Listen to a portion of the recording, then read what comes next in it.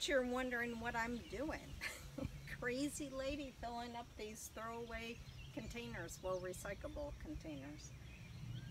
We're going to upcycle them is what my grandson says.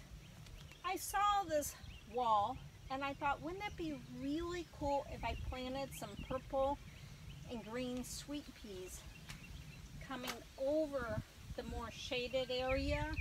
I'm doing it just for the flowers and stuff and they're tasty. But in the summer they die back. Here they'll go maybe through July and then they'll die back. By that time I'll have another set to go in. It'll cover this and then on this side, and I might add one more container where it's really sunny, I'm going to put the cucumbers from the neighbors and it's going to cascade over. So this whole stone wall going around the tree is going to be a living stone tree. But it's a great idea. Just make sure you fertilize because they are in containers. It is protected from the sun. I use Sta-Green because it has nine months of fertilizer in it, but I still add some Nature's Care, which is a Miracle-Gro. You want organic when it's um, growing vegetables that you're going to eat.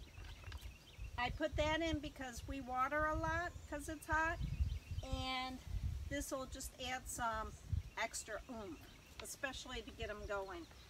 Um, and then I'll feed them, well, depending on the weather, every couple weeks. But let me show you a picture of it, but I thought it was a great ideal. The next ideal is pretty interesting too. Have a great day. Please subscribe and like and try this. Let me see your pictures.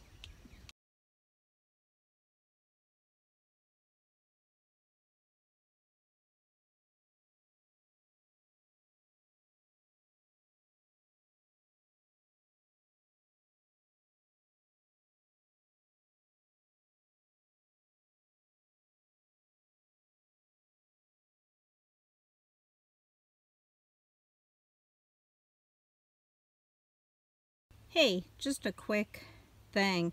I ran over and got the um, cucumber and watermelon and squash from the neighbors.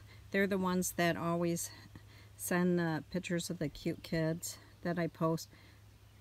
This is what a from seed plant should look like. All the roots, it's healthy. I mean, they did a great job. And this is the first time ever. So this is inspiring for others. Great job.